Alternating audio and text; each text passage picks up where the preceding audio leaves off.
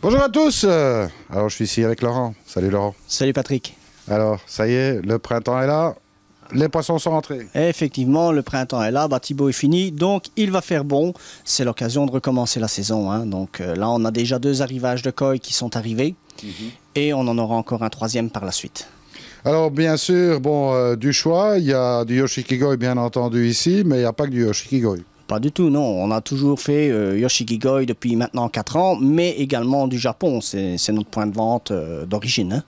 Alors, bon, ce qui sera intéressant de montrer ici, c'est un petit peu l'évolution que peuvent prendre les Yoshikigoi. Voilà, donc ici on va montrer du poisson qui a 3 ans, qui ont 3 ans et qui a déjà un an de, de stockage ici.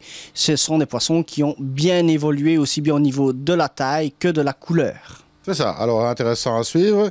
Donc, ben, je propose qu'au lieu d'en discuter, on va regarder ce qui se passe dans les bacs. Effectivement, on- c'est le plus simple, c'est de montrer directement pour que tout le monde puisse voir la qualité que nous avons ici. Allez, on y va. Alors, Laurent, premier bowl ici. euh, une superbe sélection de Tosai. Il y a de toutes les couleurs pour tous les goûts.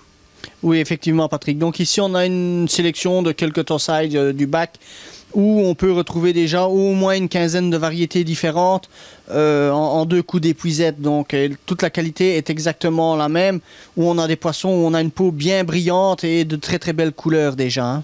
Bon, ce sont des poissons qui sont parfaitement acclimatés. hein. Oui, tout à fait. Donc là, ils sont déjà même au froid maintenant euh, chez nous ici. On est en température d'environ 8 degrés dans le bac. Donc, euh, pas de problème, on peut déjà les emmener. Oui, les, les petits torsailles, eux, sont déjà sortables du magasin.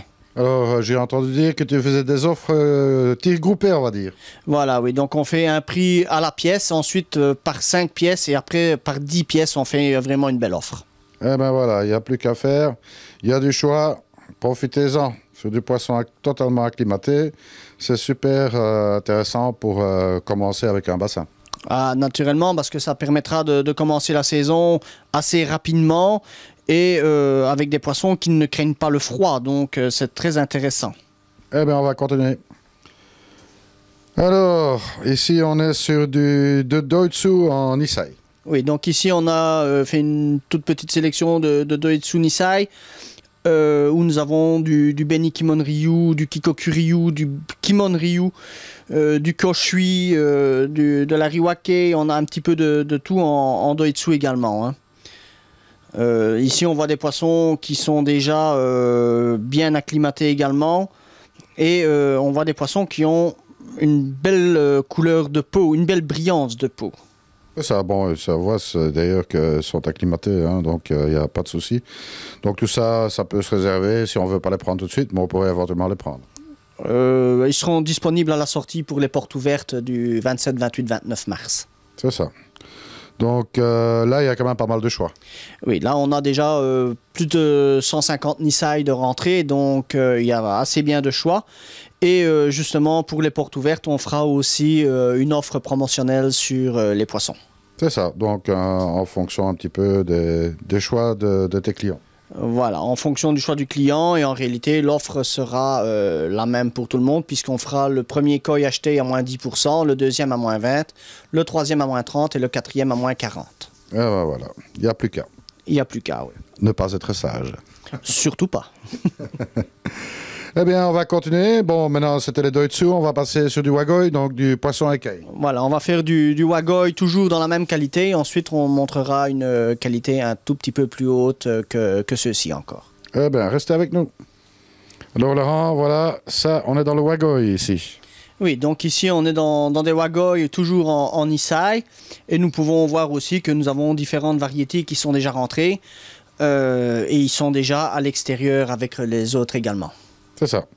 Alors, bon, il y a encore du choix. Il y a de belles petites choses à- bien sympathiques à, à voir ici, notamment dans le Ginrin, qui a de très beau Ginrin. Oui, le, le Sankei Ginrin est un, un Isai de chez Yagenji qui est très très très beau. hein. Franchement, la, la peau est superbe, la brillance est magnifique. Le Fukurin est vraiment très très bien fait. Et on a un beau Sankei qui n'est pas trop noir. C'est surtout très important parce qu'on a un noir qui est sur le blanc et non pas sur le rouge. Et le Goshi qui est sympa aussi. Les goshiki sont très très beaux, ce sont des goshiki forcément de chez Aoki. hein. Donc voilà, alors, euh, bah, on va continuer. On va continuer, Patrick. Alors, évidemment, ici, on a affaire déjà à trois superbes pièces. hein. Un Ginrin, un normal, un Kohaku, beau, beau, beau spécimen, et un Showa. Oui, donc évidemment, ici nous avons trois poissons, euh, trois beaux koi, mais qui sont toujours Nisai. Donc ce sont des Nisai de, de beaucoup plus grande taille.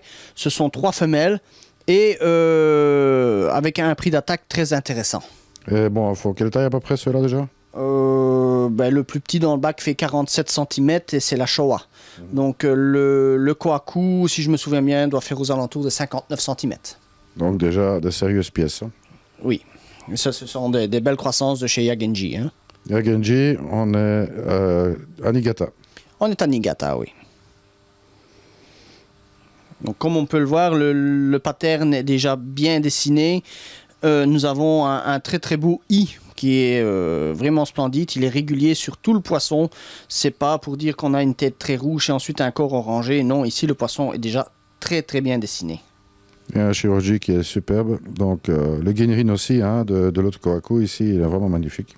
Effectivement, là on a un Fukurine qui est vraiment parfait. C'est un kohaku de, de, haute, de haute qualité chez, chez Yagenji. hein. Et ben voilà, ce n'est qu'un Il y a encore plein d'autres pièces. hein. Évidemment, oui, il y a, il y a beaucoup d'autres pièces. Ça, c'est un exemple qu'on peut sortir des bacs. Eh bien, restez avec nous, on va encore se faire plaisir, on va encore en faire quelques-uns. Oui, on va encore vous montrer quelques beaux poissons et après on pourra même montrer du, du sanzai. Eh bien, on y va. Laurent, ici on est chez Yoshikigoi avec évidemment sa palette de, poissons un petit peu hors du commun. hein. Chez lui, euh, c'est toujours particulier. Enfin, si vous cherchez du poisson hyper solide, ça c'est ce qu'il faut. Ah, effectivement, chez Yoshigigoi, les poissons sont élevés euh, à la dure. Ils sont élevés en Pologne. Donc, ils, ils connaissent le climat très très froid de l'hiver. Ils connaissent un climat qui est très chaud l'été. Ils ont une croissance qui est vraiment euh, particulière. On voit ici des, des Nisai de, chez, de Yoshigigoi où on a euh, une belle croissance, un beau body et surtout une belle palette de couleurs. Pourquoi? Parce que c'est un éleveur qui fait principalement les variétés qui sont très difficiles à trouver au Japon. Là, nous avons du, du Benikimon Ryu, de l'Oshiba Doitsu, du Midori, euh, du Kohaku Doitsu. Et ce sont des, des poissons qui ont une très très belle qualité de peau. Et si on prend un poisson et le remonter carrément en surface, ce que je vais vous faire, vous allez voir que le sumi est déjà vraiment très très élevé. Eh bien, on peut regarder ça.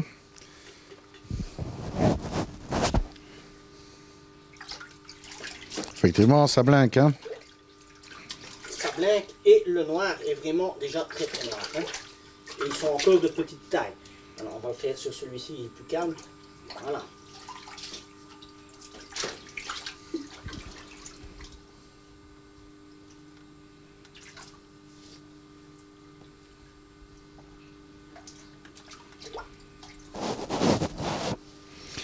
Alors bien sûr, bon, c'est pas la première année que tu fais du Yoshikigoi, mais bon, il faut savoir que tu as du Japon aussi et que les deux ne sont pas mélangés. Non, les deux ne sont pas mélangés et maintenant ça fait 4 ans que je travaille avec Yoshigigoi et honnêtement, euh, nous n'avons pas de problème sanitaire chez Yoshigigoi. On a une très belle croissance et on a des poissons qui prennent de plus en plus de couleurs en vieillissant.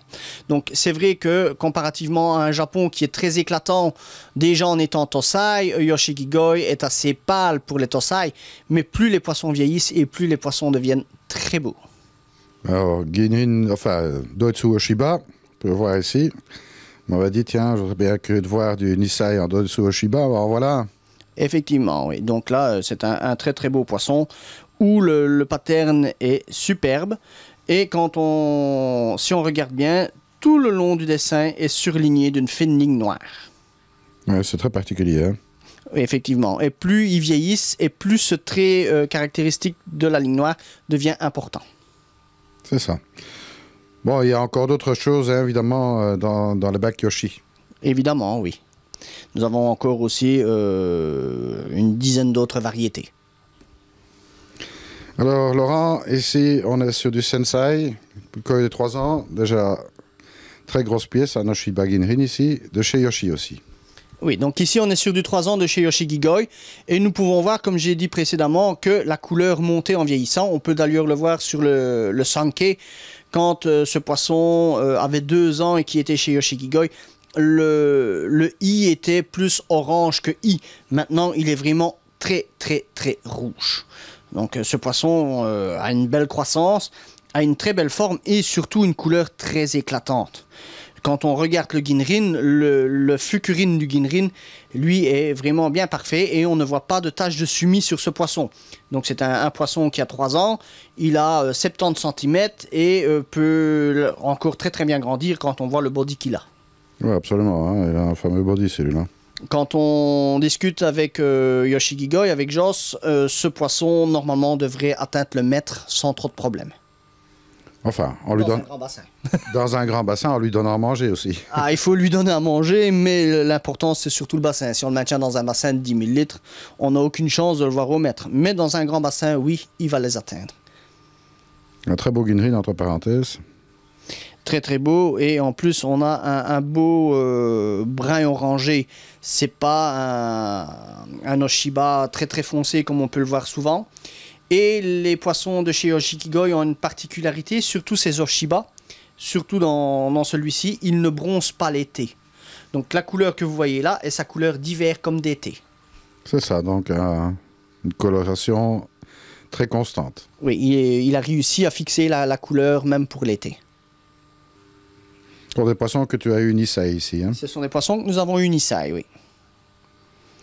Euh, Donc on les garde un an et comme ça on peut vraiment montrer aux clients euh, la, la qualité du poisson et comment les poissons deviennent. C'est surtout ça qui est très important, étant donné que euh, Yoshigi Goi, dans le monde du koi en Belgique, n'est pas très développé. Ben, euh, c'est l'occasion justement de pouvoir expliquer aux clients comment ils deviennent et leur montrer surtout. C'est ça. Mais on va pas se priver, on va encore montrer d'autres. On va encore en montrer d'autres, effectivement, Patrick. Alors ici, on a un but de Goromo. Oui, donc on a un Budogoromo de 2 ans. C'est une femelle Nisai, également de chez Yoshiki Goi, où nous voyons vraiment que le, le Shiroji est très très blanc. C'est un poisson qui d'ailleurs, en étant Tosai, a gagné le premier prix sur le Koi Show euh, aux Pays-Bas, jugé par les juges euh, japonais. C'est ça. Alors ici, on a un Beniki Kokoryu. Et un Beniki Kokuryu, ça c'est une variété que Joss raffole de faire et c'est une variété qui a la particularité. Ici nous voyons encore un peu de sumi dans, le kin, mais en, en vieillissant il se nettoie parfaitement. Donc l'orange devient parfaitement pur en vieillissant. Euh, L'année dernière, ce poisson, lui, est un sanzai. L'année dernière, ce poisson avait un orange qui était totalement gris. Et maintenant, on voit vraiment que euh, tout est en train de se nettoyer.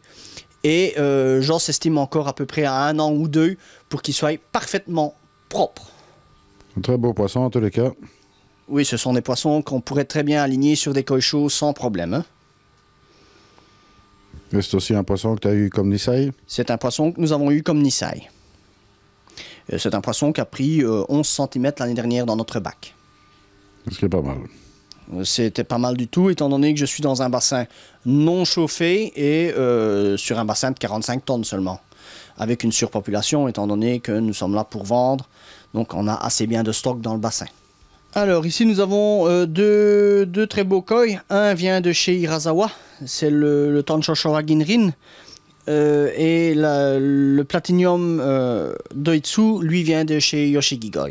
Et nous pouvons voir que ce sont deux poissons Sanzai qui ont euh, la même taille. hein. Donc euh, la croissance, un comme à l'autre, est euh, très très belle. Surtout quand on sait qu'Hirazawa est un champion de faire des poissons de grande taille. Nous pouvons voir que Yoshigi Goi peut faire la même chose. C'est ça. Enfin bon, euh, l'Irazawa, il a bien profité en body en tout cas. Alors, le, le body de l'Irazawa est un peu plus important, mais il faut bien regarder aussi que l'Irazawa est un Wagoi. Donc, les Doitsu sont toujours un tout petit peu plus fins, même au Japon. C'est ça. Enfin bon, le- les deux pièces euh, valent le détour et font déjà une certaine taille, hein, pour pas dire une taille certaine.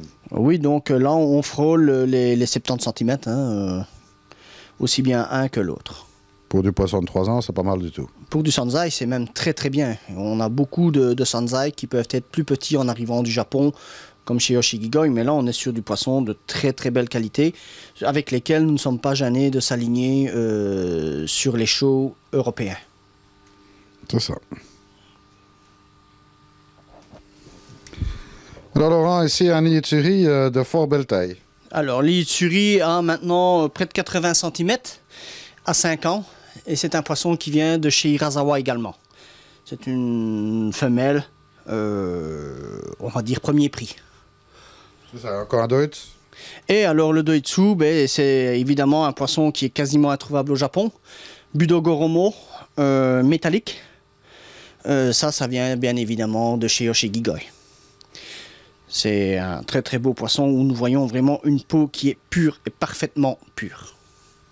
À quel âge celui-là? Alors, c'est un poisson de 3 ans.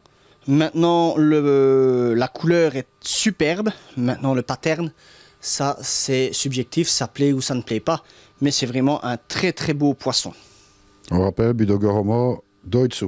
Un Budogoromo Doitsu, oui.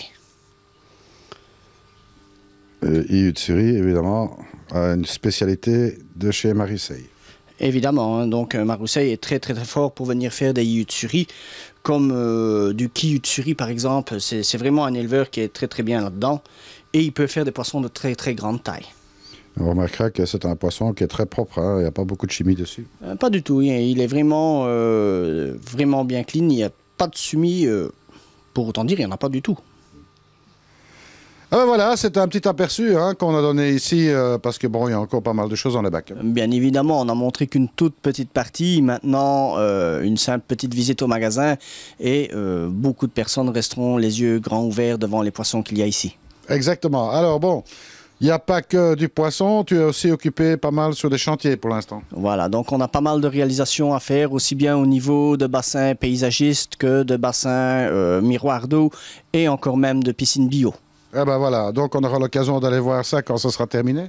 Tout à fait, ben, j'espère bien que les clients accepteront volontiers de, de laisser filmer le- la réalisation. Eh bien, moi, je vous dis euh, à très bientôt. Ben, le COI, c'est pas très difficile, hein, c'est rue Pestelin à Lutre. Oui, au numéro 4. Et le numéro de téléphone, c'est le 0032 71 84 04 81. Et n'oubliez pas que les dates, euh, enfin, je veux dire, par- pardon, pas les dates, mais les heures d'ouverture ont un petit peu changé. Voilà, cette année, on a décidé de se consacrer beaucoup plus à la réalisation euh, chez nos clients. Donc, on a changé. Maintenant, nous sommes ouverts au magasin le vendredi de 16 à 20 heures, le samedi de 10 à 18 et tous les dimanches de 10 à 14. Le reste de la semaine, il y a toujours, bien évidemment, possibilité d'avoir un rendez-vous. Et euh, on s'occupera toujours des poissons malades, bien évidemment. Et ben voilà, tout est dit. Laurent, grand merci à toi pour nous avoir montré cette, cette- ta sélection. De rien, Patrick, c'est avec grand plaisir. Et puis à très bientôt. Et comme je dis toujours, surtout, surtout, ne soyez pas sages. Salut à tous.